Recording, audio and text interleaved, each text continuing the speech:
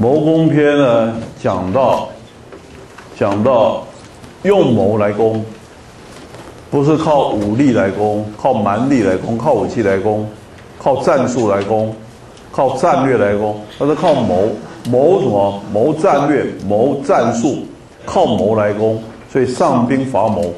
那如果你谋的话，谋的话呢，你就比较容易，必须要了解到全局，你才能谋出一个好的谋略出来。那全局的思想呢，是孙子所非常强调的，必全争于天下，故兵不盾而利可全。所以呢，这样的话才叫做谋攻之法。所以权的思想在孙子这一篇里头是非常强调的，就是他整个的军事思想，权是一个非常重要的概念。权我上回讲过，有两个主要的观点，一个是顾全局，啊，所以你要全局的思想，那这是全局观。有所谓呢，不谋全局者，不足以谋一处；不谋一事者，不足以谋一时。一事全局。都是全部的意思。如果你没有一个全局观的话，你如何谋一个地区？你如果没有一个整个国家的兴盛、国家兴衰的一个观点的话，你如果谋一个城市？这个城市的发展要搭配国家的策略。你如果没有一辈子的生命观、价值观，一辈子的人生的目标，你如果谋你大学毕业要做什么？所以人家问你大学毕业要做什么，你一定想不出来。为什么会想不出来？因为我们还没有想清楚，没有几个人想清楚了。说我这辈子希望我到入关的时候，啊，进入棺材的时候，我希望我是一个什么样的人，是吧？没有几个人有这样的一个全局的观点。但是如果说有一个人很全面的检讨了自己。也期待自己一辈子，希望能够做一个什么样的人的话，那我想他会非常清楚，我大学毕业我要做什么，一定非常清楚。你说是不是这样？这叫不谋一事者，不足以谋一时；不谋全局者，不足以谋一处。就是这种观点，这是全局观。那这个全局观呢，就是有待各位呢平常要累积很多的想法。啊，很多的观察，要收集很多的资料，那这是全局观。另外还有一个观，也是跟权有关的，就是什么保全的概念。也就是说，胜敌而易强。我不是打败了敌人，我打了仗以后呢，不使我自己更弱，反而使我更强了。所以这叫以战养战，啊。那孙子这样强调这个概念呢。我们在第二篇作战篇的时候就强调胜敌而易强。为什么打了仗以后反而自己更强呢？因为我不止打败对手，我还把对方的公司、把对方的什么东西，我把它接收过来了。我把对方的市场把它接收过来，把对方的人才我把它并购过来了。所以胜敌而易强，这是孙子非常强调的一个观念。所以他不怕打。那事实上，因为可以胜敌而易强，我可以屈敌人之志。啊，屈服敌人的兵，有一句话叫做“不战而而屈人之兵”，对不对？你屈服人家的兵呢，可是你还能够更强，而且呢，你不会花费很大的力气，这中间都是保全的思想，都是权。啊，就是我打败对方了，至少对方顺着我的意思走了，对不对？哎，不费一兵一卒，对不对？这个世界上很多这样的例子啊。像以前还没有民主选票的制度的时候，那个时候都是靠打仗来更换朝代，所以明朝变清朝，清朝变民国，啊，很多时候都是靠打仗的。现在不是了，现在靠选票，就不需要费很大的力气就可以更换朝代。那现在孙子在两千五年、五百年以前就主张，如果能够让对方屈服，靠别的方法，这才是真正最高明的东西，是吧？这个通通都是保全。胜敌而易强的一种观念的运用，啊，所以这种思想非常先进。各位想想看，啊，当我们去赢得一场战争的时候，要费了很大的力气，是吧？那这种事恐怕就没人愿意做了啊。所以你要能够做赢了，还能够保全，还能让自己更强，这都是权的思想啊。所以我们上一次呢花了不少时间谈到权的这种概念，然后现在呢，孙子讲了啊，孙子上一次讲到说。用兵之法，十则围之，五则攻之，倍则分之，敌则能战之，少则能逃之，不弱则能避之。故小敌之间，大敌之情也。这个通通都是按照敌情的不同而有所不同样的战法，而这战法都是环绕在一个很重要的概念之上，就是保全自己的战力。为什么这样讲呢？因为我如果是十倍于敌人的兵力的话，我不要耗一兵一卒，我把它围起来就好了。我断对方的水电，对吧？我们就停课停了一次啊，那我如果是对方兵力的五倍的话，你才可以攻。你如果不是对方的五倍的话，你去攻，你很可能会输，而且会死得很惨。即使赢的话，也是惨败、惨胜、惨赢而已。所以五倍你才能攻他，然后呢，倍则能分之。你如果只是对方的两倍，你要想到把对方的兵力把一切为二，一切为三，分对方的。力量就可以把对方一个一个把它吃掉。敌则能战之。如果跟对方的势均力敌，这个敌的意思是势均力敌的意思。我跟对方的兵力势均力敌的话，那这个时候的话，我一定要有一种能力，我可以跟他对打，我可以跟他 PK，对不对？我跟对方兵力差不多，那你要有这种能力，我敢跟他 PK，而且我有胜算，啊。那如果不急对方，我要能够逃得掉，是不是？有些人逃不掉，对方很厉害，不让你逃，那你要能够逃得掉。那如果我什么都不如他的话，我要能够避开得了他。所以你看，这些不同样的应应方法，完全是按照敌情的不同而有所不同。那如果呢，小敌啊，如果你明明不如对方，可是你去。固守的非常坚持、非常坚固的、非常僵硬的的一种做法的话，正好啊，大敌啊，就把你整个把它给抬起来就好了，把你放在啊他的仓库里头，整个就被他抬走了。这很像以前庄子的讲一个故事，说有一个人家，他很多的财富放在一个保险库里头，保险库啊做的非常的坚固，他想啊小偷进来也不怕啊。结果小偷一进来以后看，哦，这个保险库什么东西都有，里头一定这个什么东西都有。那保险库这个设备非常好，很难打开。他怎么偷？他当然不会就打开，他都把它整个把它搬走了，把保险库整个把它搬走了。所以你你很坚固，小迪你不知道要跑，不知道要躲避，你还是在那边这个。超妙朗给刚，你很想跟他对对战一下，交战一下，正好就被他整个把你搬走。所以呢，战法呢没有一定的战法，所谓的兵无定法，完全按照敌情的不同而有所差异。所有这些思考都是在权的一个概念之下，想出不同样的应应方法，就是如何胜敌，如何能够全啊。那。这边我也请教各位，你怎么样去谋一个你人生的权？各位自己想想看啊。那领导者要能够有全一种全面的一种观点，不能够专只是专家观点。专家观点是很小的，啊，你是电子专家，你只顾虑到电子；你是水利专家，是考虑到水。可是一个国家又需要水，又需要电，又需要火，又需要空气，对不对？又需要土壤，什么东西都需要，所以一定要有一个全的概念才行。所以我这边提一个观点，各位想想看，判断力跟用人为什么跟这边有关系呢？是吧？很多东西是没有答案的，在我们台湾长大的孩子们，经常很期盼给一个答案。说老师丢一个问题给你，你们希望，哎啊，标准答案是什么？呃，老师我讲了作业啊，答案在哪里？有一个所谓的标准答案。事实上，统计学有标准答案，但是对不起。像这边才谈的领导判断这种东西，没有没有答案，没有标准答案。那没有标准答案怎么办？我怎么知道我做的对不对？学习的过程当中不一定要学对，要学什么？要学判断力，要学什么？要学你怎么样去处理这个问题？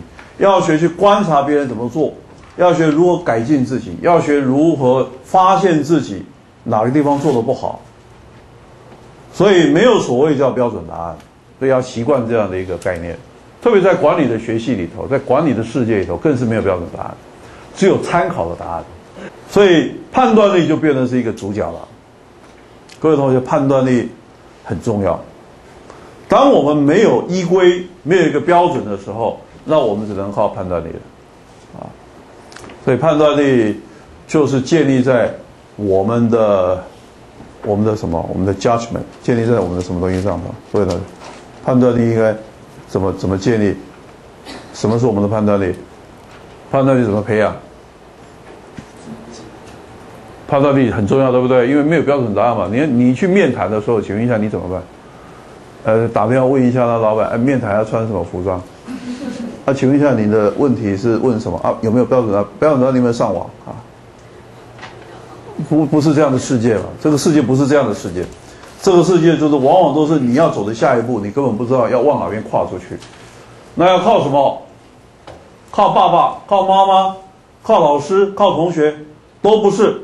只能靠自己的判断力，对不对？这才是真实世界嘛。所以要好好锻炼自己的判断力。要想要做领导者，特别是涉及公共事务的人，特别要磨练自己的判断力。啊，怎么磨练呢？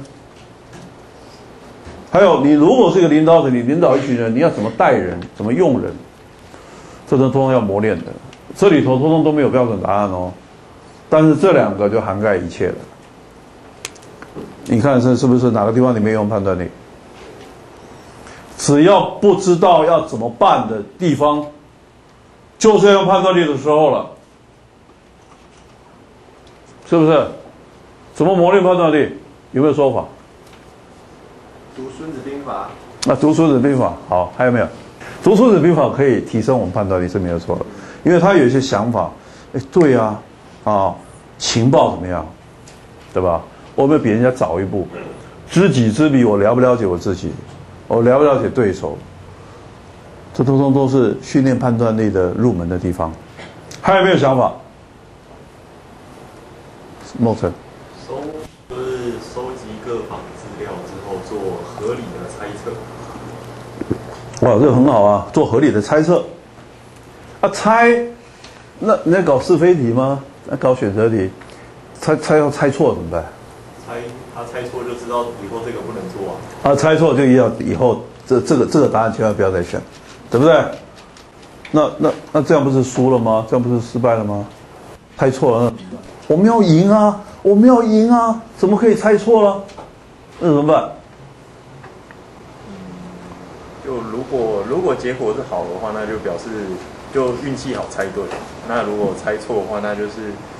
呃，整个执行的过程当中会发现说，就是就是整个事情已经结束之后，回头看整整件事情的发生的话，会知道这件事情为什么错了。因为如果做错的话，一定是当时就是自己疏忽掉了某些的资讯或者是条件，好，做出当时觉得合理的决定，可是实际上是不好。好，OK，来。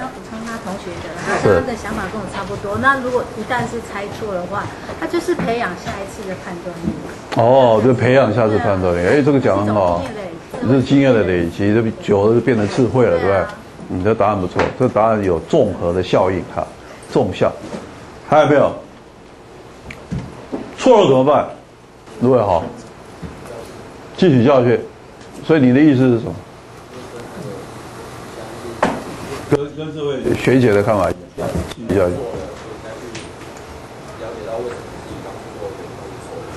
是，要了解自己当初为什么做这个错误的决定，对不对？是，是，好，那下一次如果再错怎么办？再继续继续下去，你看到没有？再继续下去下去，不要再错了，OK。那如果第三次又错了怎么办？换个角度想，第四次又错了怎么办？就请教人家。第五次又错了怎么办？就退隐江湖了。我告诉你，你们不是经常讲要讲创新吗？创新的一个基本的原则是什么？就是不要不要什么？不要怕错，不要怕犯错，所以我期待你们刚刚有谁会讲这句话，不要怕犯错。哎，你错一次有什么了不起啊？错两次有什么了不起啊？爱迪生以前他说他经常做实验都错了九百多次，啊，他只要最后一次成功就好了。那人家说，那你前面所错的九百九百多次，你怎么看待他？他说九百多次，我每一次失败，每一次错误，就告诉我，我的正确的答案绝对不在那些错误的那些方向里头。所以我不断的去缩小我的正确答案的范围。所以我我虽然在犯错，但是我的方向慢慢在调整，我的焦点就慢慢聚焦了。所以我一定有有一天我一定会成功。这样的过程，又叫做学习，又叫创新，又叫创造。你们现在不是很多人都想创业、创新、创造吗？我告诉你，最根本的一个精神就是不要怕犯错嘛，就是这样的概念嘛，是吧？那不要怕犯错，你错了五次，错了十次，错了九百多次，这个错误的过程当中，就是慢慢在培养你的什么？你的判断力。当你错了三次以后，我告诉你，你的判断力就慢慢就变敏锐了，你人就变谨慎了，你不轻易出拳了，你不轻易投资了，对不对？那你在干嘛？你会多用你的脑袋了。你会吸取惨重的教训，你就越来越精明了。判断力就是要慢慢磨练出来。那其中一个主要的精神就是不要怕犯错。用人就是一个很大的学问。这个先先点到这个地方，我们来看一下这边这一句话，就是我为什么讲这个原因啊？各位看一看，这个很好的啊。好，然后进入到这边来了。当将领的，事实上是国家的很重要的宝贝，是国家的什么？是国家的辅助工具，是国家的宰相。宰相是辅助内政，将领是辅助外外面的战役、外战。那辅导的如果很周全的话，这国家会强。啊，那种辅导的不周全的话，国家会弱。那这句话呢，在讲强调什么？强调将领的重要性。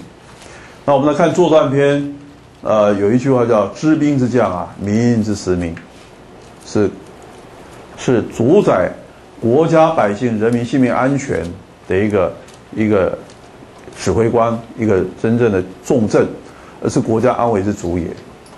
那在地形篇里头也有这样对将领的一段说辞啊，这段说辞他说：“将领应该要进不求名啊，退不避罪，为民是宝。”一心一直要保护国家百姓，而能够创造真正符合国家利益，啊，合于国军的利益，合于国家的利益，啊，一心一意要为国家谋求利益，这样是真正是国家的宝贝，将领是国家的宝贝，知道吧？那这个是对将领的一个一个赞美，将应有的一个一个条件，所以进一步来讲。那么，所以说，国军应该怎么样对待将领呢？既然将领那么重要，国军应该注意哦。君之所以患于君者三，他说，君当国君的人啊，会经常会容易犯三种错误啊。那对于军事这方面来讲的话，三种很可能会犯的错误。第一个，不知军之不可以进而谓之进；不知军之不可以退而谓之退，是为迷军。这是第一种。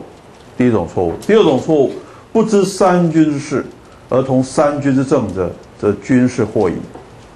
第三种，不知三军之权而同三军之任，则军事疑矣。三军既已惑且疑，则诸侯之难至矣，是为乱军引胜。下面最后这句话就很清楚了。上面呢有三个东西，我分别解释。首先先看一下曹操，我上来跟你们介绍那本那个《孙子十家注》那本书啊。你们如果要买的话呢，有哪些地方看不懂都可以去参考。那其中呢，曹操有一句话，他说啊：“军容不入国，国容不入军。”意思就是说，军事的思想跟一般的治理国家的思想是不太、不太能够完全能够接接壤的，不太能够清楚都能够套用。国也国容不入军，啊，重点是最后这句话：“礼不可以治兵也。”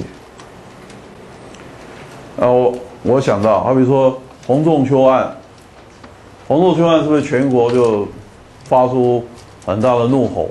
然后后来硬是把军法法给废除掉了。现在军人犯罪的话，也一样送到民间的司法法庭里头去去审，用检察官，对不对？然后在法院里头跟一般的民众一样判罪。请问有没有什么问题？这样做好不好？不好在哪里？不好在哪里？将军的威严尽失，只是只是威严尽失而已吗？还有没有？好，威严尽失还有没有？军事上头为什么特别要有个军法？有个军事法庭，它它有个军法，军事的那个法律规章，那个那个规定了，那个比一般的民民间的法律那还要来严格。所以你要是听到人家说，哎，这个人要将军法审判，哇，那吓死人了，对不对？因为那个刑期啊，还有那个处罚都是更加严重的。那为什么现在把它废除掉了？是因为洪仲秋的案子，是吧？那是军人自己呢，自己。不愿好好去约束，就像呢哈巴奇阿阿巴契的这个直升机也是一样，你居然允许那么重要的军事的机密让贵妇团坐上去，然后去拍照，他泼上去，然后就泄露很重要的国家机密，然后后来现在会变成怎么样？现在变成很重大的一些违纪案，然后十几颗星星呢都一时间同时都被处罚，像这件事情。如果硬是你要以民间的这种司法治理国家的标准来看，就是曹操所讲的理呀，国家讲道理，国家一般的法理法则，国家的法律来治兵的话是不可以的。可是我洪仲秋的案呢，现在把把军法废除了，回归一般的司法，这就如同不知三军之事这边所讲的，儿童三军之政。军中呢，自从洪仲秋案以后，废除了关禁闭了，你知道吗？你知道这件事，再没有关禁闭，因为没没没有师长、没有旅长敢关士兵的禁闭，所以阿兵哥就很爽了啊！你你以前最怕的是什么？关禁闭。哎，关禁闭的话，不止睡的地方很小，一天到晚还要操课，对不对？洪仲秋就被操死了。那从此以后，一夜废死以后，再没有禁闭室这种东西，不敢操练。不敢操练的话，会产生什么后果？没有人关禁闭，他再坏，就只好随着他坏了。了不起，只能够轻轻轻轻摸他一下，啊，叫他去去交互蹲跳，叫他去罚个禁足。那可是这些东西没有震慑力。你要把他送去关禁闭的话，关一个月，关多久的话，他会怕。那如果士兵不怕你的话，你就没有办法矫正他任何的行为。那更何况军中有一些卧虎藏龙的，有很多人都是一些外面的一些流氓啊，很大条的。他去当兵，那你把震慑他的东西把它拿掉了，他不再怕你，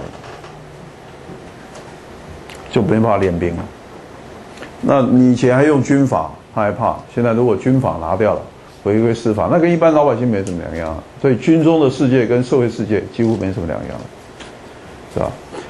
所以这个就是呢，不不知三军之事的，同三军之政啊。那现在还有另外一个问题，阿巴契的直直升机的这个案子，我们可以看清楚的说，军人喜欢巴结权贵。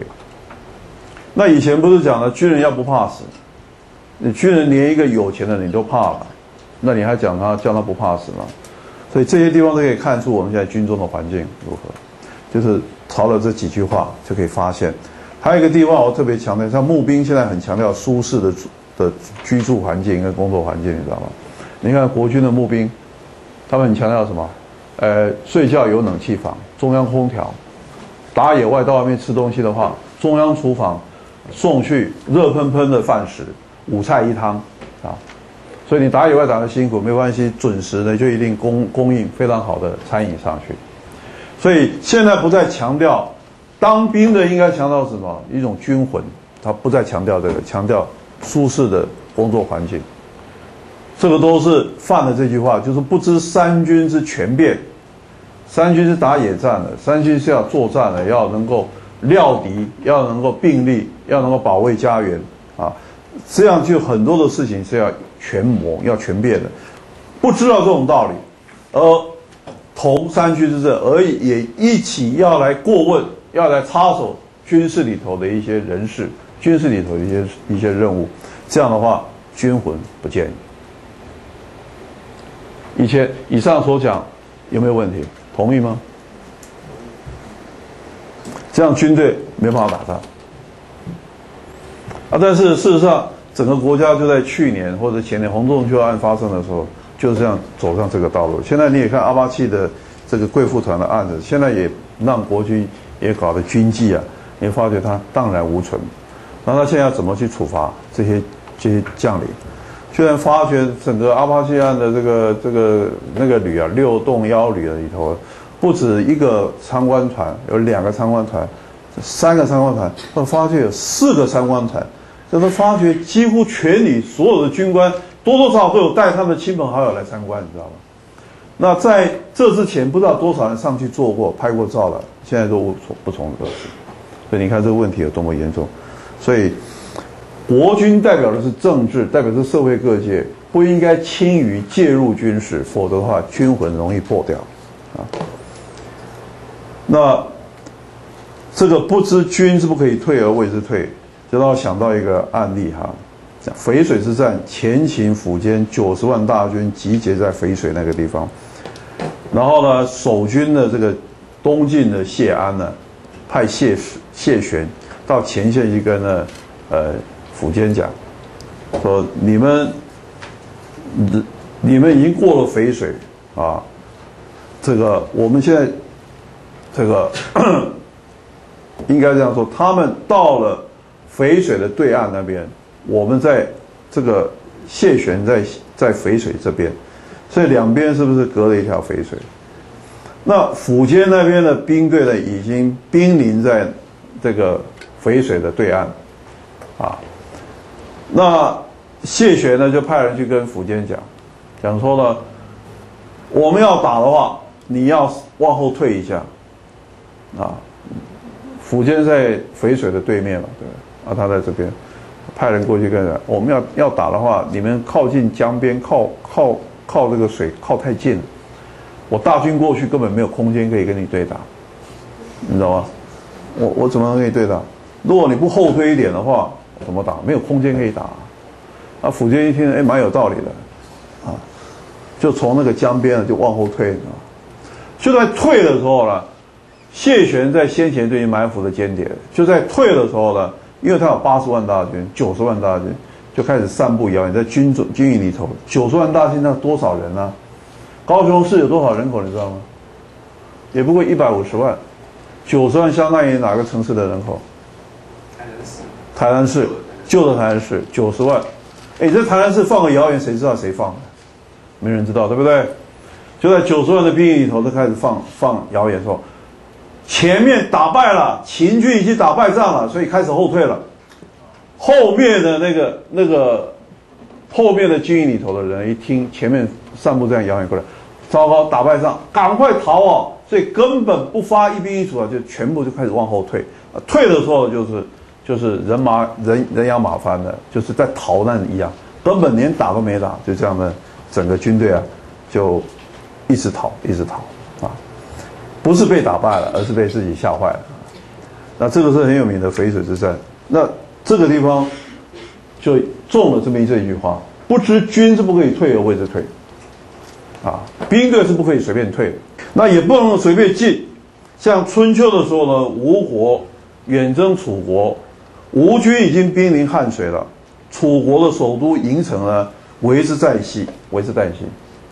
楚国呢，本来想要协同南北两军呢，来准备伺机的来夹击，可惜了，楚将呢那个时候南王啊贪功啊，就轻易就抢渡汉水，那想要提早决战，结果呢，一边抢攻，另外一边搭配的没有跟他搭配，所以就很轻易被吴军打败了。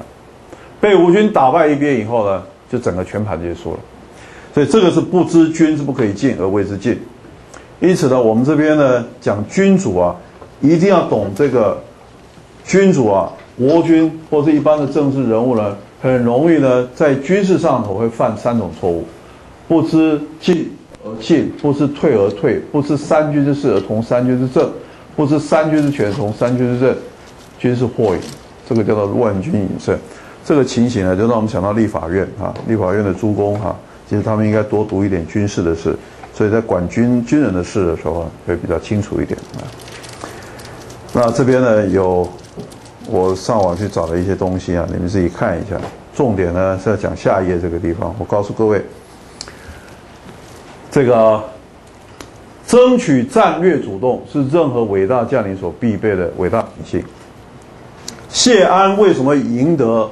淝水之战这场战争呢，就是他处处主动占据，啊，虽然我人数很少，只有八万人，对上了苻坚的九十万大军，他能够主动派间谍，然后还要告诉他说，你们在淝水的对岸要打的话，我我的兵如果行进到江岸江上的时候，你突然间打我的时候，那那是不公平。所以你应该退回一下，让我能够安全降到对岸的时候，我们要打再来打。他居然也接受，你知道吗？你们注意到，所以这个就是很主动的，他能够完全争取战略主动。啊，这个是非常重要的事。那这边这一段话呢也是告诉各位，重点不是攻或守的问题，攻重点是主动或者被动的事。啊。那这主动跟被动呢，呃，是关键。只要是居于主动地位，因时制宜，攻守均可得胜。若是陷于被动，则应接不暇，就要攻守两难。各位同学，攻或守只是一种形式，一种应敌的形式。有没有一种战争是我是主动，可是我是守的，守而主动？有没有一种攻是被动的？被动不攻不行。有没有一种形式是我是主动，可是我现在愿意采取守势，我不愿意打你。这种案例很多，所以重点不是你攻或守，重点是你是主动还是被动。所以姑且不论刚刚谢安所打败苻坚的那个案例，他是完全操操操控的整个战局。重点是你有没有办法操控战局？能够操控战局的话呢，即使我守，我随时可以反守为攻。你按兵不动，这是这是守，对不对？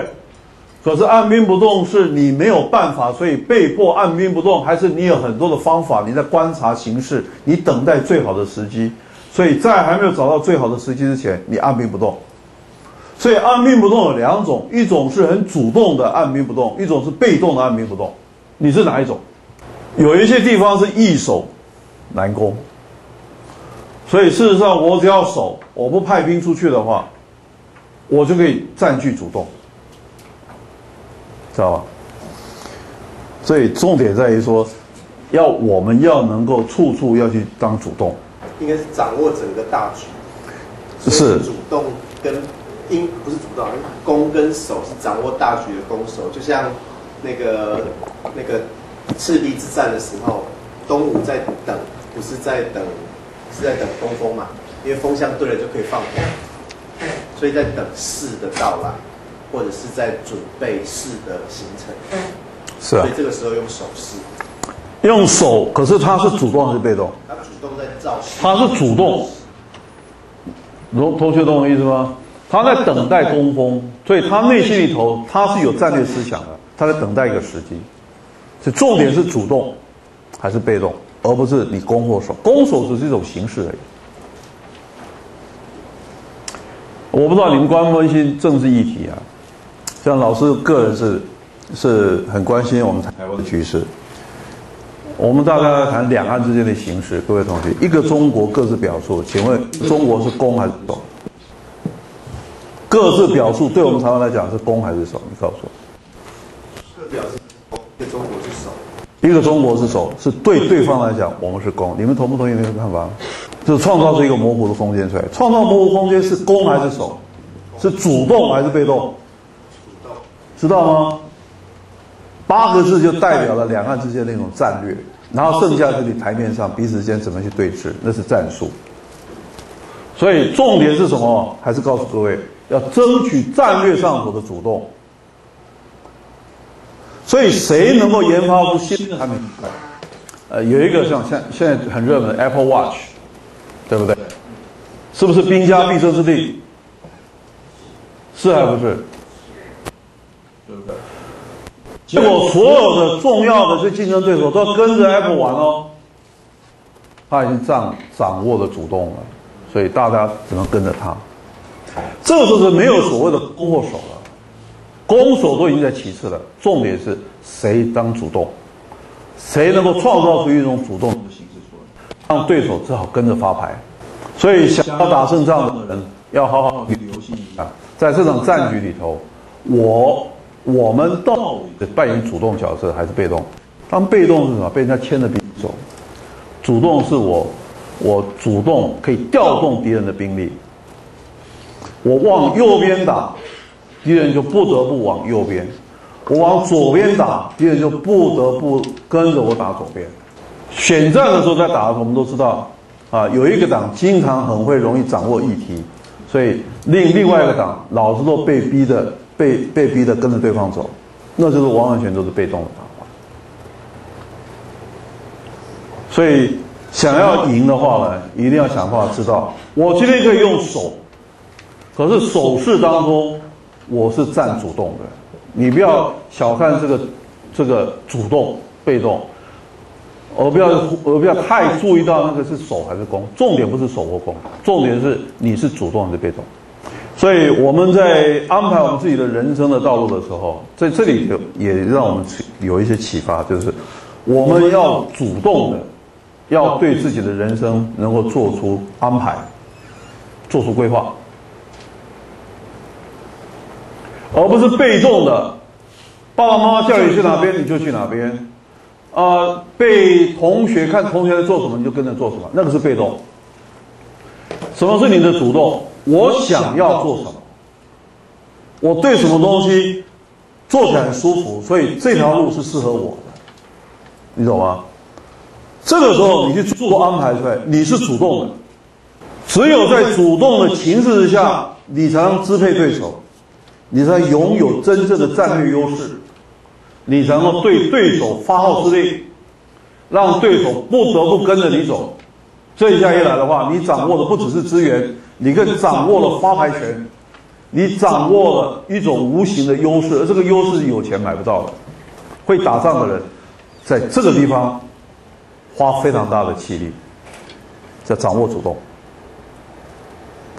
好，现在问题了，你要如何才能掌握主动？如何才能发牌？如何知道我在哪边起火，在哪边发动战争，启启动整个战局？谁才有这种能力做到这个主动性？需要具备什么条件？Say something。资讯要充足。资讯要充足。还有没有？很好，不错。还有没有？要扮演主动。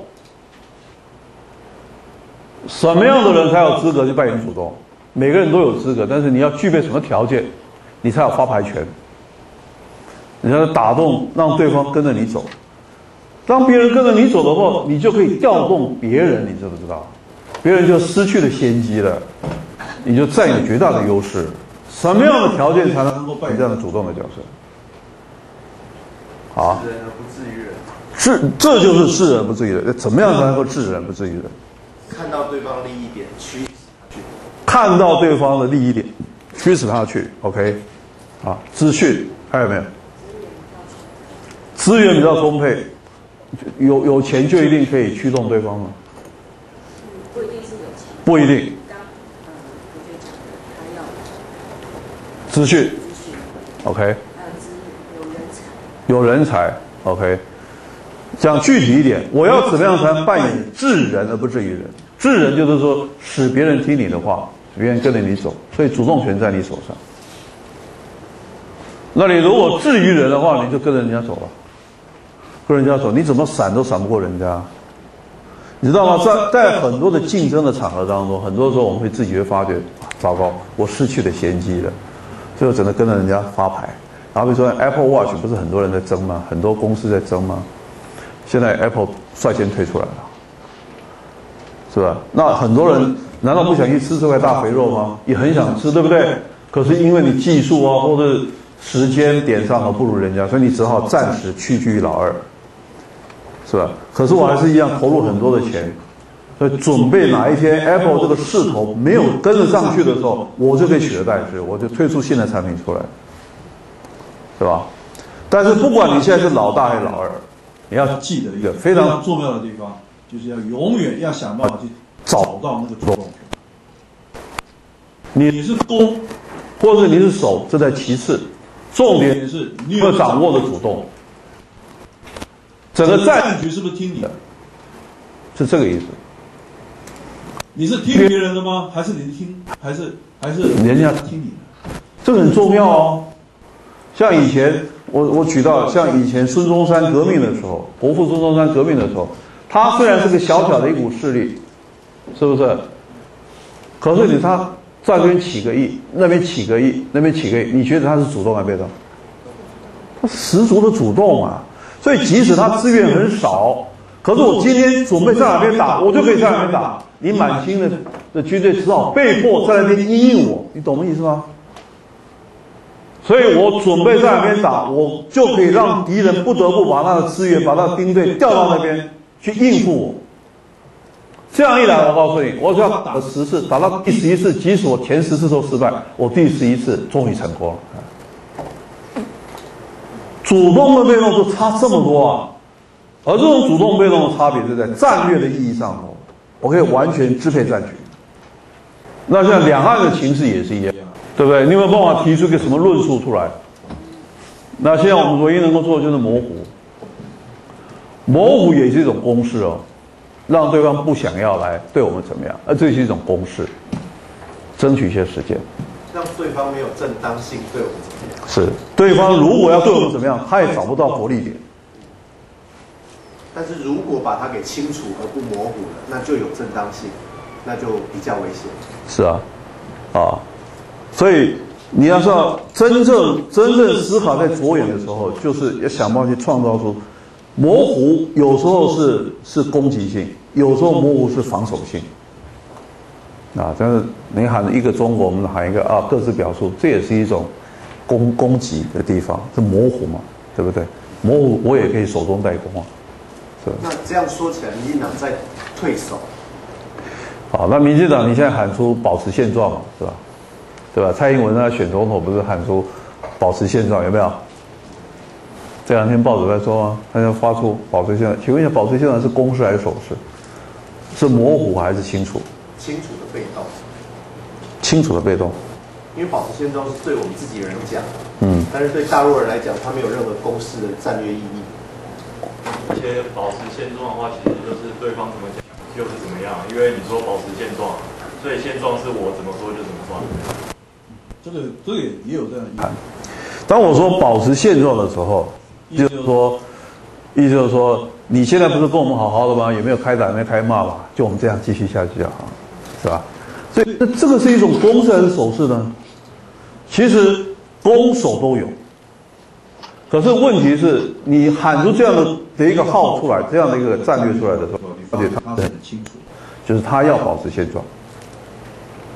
可是他要这个现状的时候，正好呢，跟他以前所攻打的马英九的政府正好是相矛盾的。他以前不是说人家亲中卖台吗？现状就是亲中卖台啊，按照他们的说法，那保持现状就是你要你要跟着跟着要亲中卖台，不是吗？是吧？所以这些政治人物都很矛盾的啊。他们为了胜选啊，可以喊出各式各样的花招出来。但是你来想，到底是一个中国各自表述比较高明的一个攻守并重的一个战略，还是保持现状？还是我们这位柯柯市长，哈哈，前一阵不是说什么？呃，从来世界上从来没有一个人对一个中国有任何问题，呵 呵对中一个中国不是问题。那至于一个中国是什么东西的话啊，那就哈哈哈哈哈，就就就就是这个意思啊。他只换一个说法而已。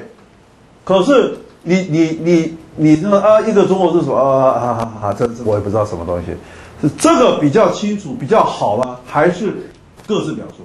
比如说你说你的中华人民共和国，我说我的中华民国，所以现在两岸是争啊，都在争这个，都争这个。你怎么去维护自己的主权，然后又能够站稳脚跟，立于不败？是不是？所以谈《孙子兵法》很难不去谈到这些军国大事啊，是不是？那商业方面的事情，当然我们也会留意啊。经济方面形势、财务、国际金融方面，其实都是很重要的地方。但是我只是希望同学要去了解国家的大事，都都可以从《孙子兵法》的角度去去看待它。主动跟被动，谁掌握主动，谁掌握被动？如果以保持现状来讲的话，比较好还是九二共识，一个中国各自表述，比较有攻有守。你可以研判看看哪个比较主动，只有主动厉害。我觉得如果保持现状啊，因为其实现在经济话语权在中共，所以保持现状，其实我我当你没有办法跟人家在争夺什么的时候，其实反而是被动的，被动的就是一个策略。但如果一个中国各自表述，其实你可以跨过去，我中华民国涵盖到某些某些领域，例如说在文化的领域或者在方在哪些领域，我觉得我还可以协助中国更好，于是我可以跨进去。是，所以我觉得在在战略的，就是经济战略上面，一个中国各自表述的经济战略的灵活性会比较高。是啊，那保持现状的话，如果你保持现状，好，对方他也保持现状，可是今天，例如说亚投行，我不让你参加，因为现过去的现状没有亚投行，所以我当然不让你参加。因为保持现状，现在主动性就完全是啊，在对方的手里。没错。所以你要知道，你跟对手在争的时候，虽然我们是小国，对方是大国，啊，人家的势力我们不能及，但是要想办法创造出一种战略性的主动。保持现状是为了要胜选，他为了要胜选，所以喊出的一种呢，好像好像保持现在，现在你什么事都不要做，不就是保持现状了吗？是不是？啊，他的意思是说我不会做，我不会做那些你不喜欢做的事，请放心，是吧？啊，那可是他的意涵又又衍生出，我将来说不定我就不想保持现状，也有这种意思。这里头，所以这个这个东西啊，是是有很多可以探讨的地方啊。但是无论你打什么牌，你要永远要记得一个概念：战略主动，要战略主动，争取一个主动性。所以像拿破仑说的，作战应该遵守的金科玉律，就是永远不要按照敌人所期望而行。主动性。那你如果能够做到这个，你如果能够掌握到主动，前提是刚刚同学有讲到，但是没有进一步追及的一个 point，就是什么？就是你要知道，你要知，你要比人家知道的更多，你要比人家早一步知道，先知。先知来自于什么？情报、资讯。你知道别人在想什么？如果你知道别人在想什么，假设你卖东西给顾客，你知道顾客的底价是多少？是五十块，对不对？如果你知道他的底价是五十块的话，那对对方不是任你宰割了吗？所以大家呢掩盖了，大家的防守是自己的底牌，自己的底线。底线是底线，就是底线，就永远不可以让对方知道。可是如果说你有办法去知道对方在想什么，知道对方的底线的话，那你彻底可以击击败对方。对方也想要知道你的底线啊，所以双方面就开始用间谍，用用各式各样的方法，准备去突破对方的防守，了解对方的底牌，想办法先知。所以这里头的打仗，其实一个很重要的东西是谁能够知，谁能够比对方先知。而至于你对敌人什么都不知的，根根本不用打，是吧？我觉得除了先知，还有洞见。所谓洞见，就包含在先知里头。我不知道你对洞见的理解是什么？洞见是你能看穿一些事，对不对？对。那就是知嘛。或者可以预期事情的发展。是，那个都是先知，那都是孙子所讲的先知的一部分。先知就是先别人而知啊，比别人早一分钟知也是先知啊，比别人早一个小时知道，那一个小时就是双方差距的最主要的的根源，就是那一个小时，那一个小时决定了胜败。所以在孙子的军事思想里头，他非常强调一个东西，各位同学。就这个知，这个知呢更进一步了，它衍生出最后一句很有名、千古的名言，就是“知己知彼”。所以你现在要知的话呢，你要自己知道自己，而且要知道你的对手。然后到了九地篇的时候，更进一步强调，你不只知道自己、知道对手，你还知道天时，还知道地利。叫知天知地，知己知彼，知道吗？哎，知己知己容不容易啊？你认识你自己有多少？各位同学，把头抬起来回应我们的问题啊！不要做别的事，好不好？啊，你能够来选这门课，我很很欢迎你。但是我真的希望给你带来一些东西。那前提是你愿意加入我们。如果不愿意加入我们的话呢，我没法帮助你，知道吗？所以我们欢迎各位同学跟我们一块探讨。我希望你提你的问题，希望我提的问题你有回应。知，knowledge, cognition, knowing, information，对不对？通通都是属于知知。知道对方在做什么，知；知道自己，知；认识自己的长处、短处；知道自己谁会肚什么时候会肚子饿；知道自己什么时候需要睡觉；知道自己一天非要呃休息多久；知道自己一天一定要喝几公升的水；知道自己的有限；知道自己呢什么时候是一个 limit，不能再超越过去。所以一切的知。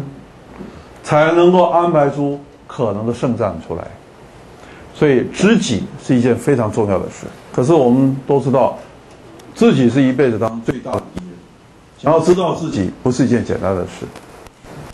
那很多人知道对手比知道自己还来得多，你知道吗？为什么？因为眼睛都是向外看的，所以我们眼睛很容易看到对手，可以观察对手，花很多时间收集对方很多的情报。可是却忘了我们旁边这些跟在旁边的这些伙伴们，他在想什么？到头来输很有可能输在我伙伴出卖了我。所以我对别人知道很清楚，对市场很了解，可是反而不了解我的组织，就是知彼而不知己。那也有可能是知道自己自己的组织蛮强的，可是对市场外面不知道，没有花时间了解技术。现在呢，这些什么新的技术起来？不知道什么样的金融形势，不知道美国什么时候会升息。你注不注意美国升不升息？一个月以前那个时候大家谈美美金要升息，一个月以后的今天现在谈的是人民币，是吧？亚投行出来以后，现在整个世界的金融形势整个改变了，这一切都发生在过去三个礼拜、两个礼拜，你知道这件事吗？所以像人民币现在一直非常看俏，是吧？美金也不知道它何时会升息。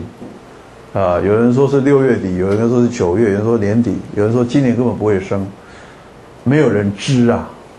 你要如何能够知？而且要比人家早一步知，你落人家知一天的话，你就少赚一天的钱，你也可能败在这一天。所以先人家而知，有一些知是属于 information 这方面的知，有一些是洞见，你刚刚所讲的预见这方面的知，你能够早一步看清楚。对方的意图是什么？胜败的关键在这个地方。所以在第十三篇这个这个最后那一篇间谍篇的时候呢，孙子有一句名言，希望你们能牢记。他说啊：“明君贤将啊，所以能够动而胜人，成功出于众者，先知也。”明君贤将，你自己查一下第十三篇，里头的一段话，你可以不用抄，你找到第十三篇的原文。我请各位同学一定要去买一本原文书，有没有去买啊？买了没有？都买了哈，没有人举手哦，没有买的举手。哦，有人真的举手了，那赶快去买一本好不好？买本原文本，自己找时间好好读一读。明君贤将，所以动一动就能够赢得了别人，动而胜人，然后成功出于众人，就是比人家还能够出人头地，成功出于众，出于众人。为什么呢？因为先知也。比谁先知？比对手先知，比别的人都先知。先知什么？先了解对方的意图，先了解大的形势，先了解我们大家共同的对手他们的想法是什么。先知也。对方也了解你，你也想要了解对方。谁先达成知彼的任务？先知。谁真正掌握了自己的力量？先知。这个先知不是那个，不是阿拉真主那边的先知，不是那个意思，啊，不是弥赛亚那个 angel 那种先知，不是那意思。意思就是说比人家先一步知道。所以《孙子兵法》在先知这个上我是非常强调的。有没有什么问题啊？各位同学，了解自己，了解对手，可以从太极拳“人不知我，我独知人”这八个字里头可以得到很大的启发的。为什么呢？你说中国的思想跟哲学呢？中国文化里的思想哲学，其实在它的拳术上头一个表现出来。这个太极拳最具有代表性的一个一个一个运动，就是你跟着对方走，对方打过来你就被他打，可是你不要被他真的打着了，你顺着对方走，懂吗？你看人家两个人在打对太极拳，你根本不知道他干什么，啊，看他干两个在跳跳太极拳舞吗？在跳慢狗吗？还是跳跳什么？实际上你跟着对方移动。他这样打你，你就往这样退，你不要让他对着就对了。那他这样打，你就跟着他过去。你在干什么？是谁主动？是谁主动？当对方打你，你就顺着他，啊，往这边推，你就往这边躲，这边躲。你顺着他，你顺着他，是谁主动啊？这样是谁主动来的啦？掌握优势的人主动。谁主动啊？谁掌握优势？他打过来，你就这样推着他。他退回去的时候，你就跟着前进，对不对？他往右边，你就跟着右边；他打左边，你跟他左边。可是你就是这样顺着他，顺顺顺顺到有一天他力量出尽以后，你轻轻一推，就叫四两拨千斤，他就倒了。请问是谁主动？是谁主动？这就那八个字：人不知我，我独知人。打我的那个人，他根本对我不了解，他一直要探查我哪个地方是我的罩门。可是我只做一件事，我就顺着他走，我就达成了掩饰我自己的目的的。所以对手根本没有摸着我的优势，我的力量在哪边，反而我顺着他走，我不断的搭着他的身体的肢节，他的力量在哪里，我是一清二楚，了若指掌。谁占优势？谁主动来的啦？你懂我意思吗？谁攻，谁守？谁在攻？对方打我是在攻，对不对？我顺着他走，我在守，对不对？可是对不起，谁主动？谁主动？我主动啊！知道没有？然后我要打的时候，只要看时间一到。轻轻一推，对方就被我打败了。知道了吗？让自己处在一个绝对优势的地位。什么叫绝对优势？很难讲喽。但是你体会这八个字：人不知我，我独知人。你就站。占据的一个绝对优势的地位。为什么占据绝对的优势？因为我就可以轻易的击败对手。所以，如果你碰到一个你不太认识的人，他主动来找你，主动跟你搭讪，你要怎么办？你要做什么事？你做什么事？啊？不一定是陌生人，一个你不太熟的人，如果他对你突然间很热情、很热烈，你要你你要做什么？你做什么？你可以想到太极拳这八个字，你顺着对方，然后顺刮顺藤摸瓜，你要干什么？你要摸清楚对方真正的意图是什么，你才决定说他是善还是不善。所以很多时候我们决定要怎么做。完全取决于对方对我们是什么样的意图，用什么招数，对方是攻还是守，对方他到底想要做什么，我们一定要先弄清楚。可是弄清楚的过程当中，不可以让对方知道我们在干什么。就这八个字：人不知我，我独知人。所以要知道对方，不让对方知道我，而且我还必须要了解我自己。而且我还要知道天时，知道地利，知道外面的总体环境。你看打仗求胜有多难。孙子思想在讲这些东西，而且不止知，而且要比人家早一步知道先。对，就是在了解自己的话，还有这这些天时地利，可以靠的就是嗯，不断的去了解自己按事前做功课可以了解。可是，如果像是对方的情报的话，有的时候就需要用到间谍，对吧？或者是一些比较不这么光明的手段，对吧？所以在嗯，可能我们有达成目的，可是我们用的可能不是这么呃，可能是一些见不得光的手段的时候，这要怎么对自己人去交代？对谁交代？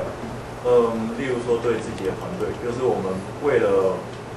为了谋求自己团队的利益，可是我们做了一些不是这么正当的。好比说什么事？是，就是企业伦理。那间谍就是一个。你觉得间谍？你觉得间谍是不符合伦理的？就是间谍，如果你把它摊在阳光下的话，它不是一个很符合光明的事情，但是不符合道德。是。没有啊，这同学应该误会，他认为可能像古代战争一定要派一个细作到对方去。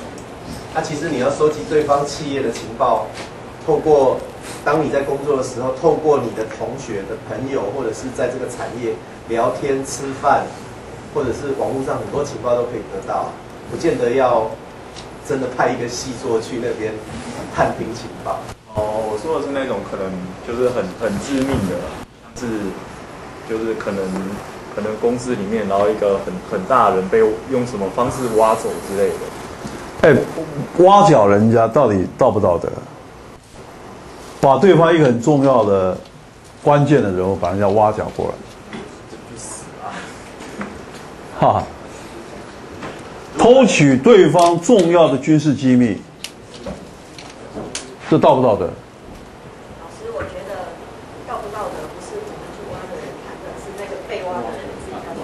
哦，对方说你实在是个小人，你太没有道德，太没有良心了，你让我失败了，你实在太没有道德了。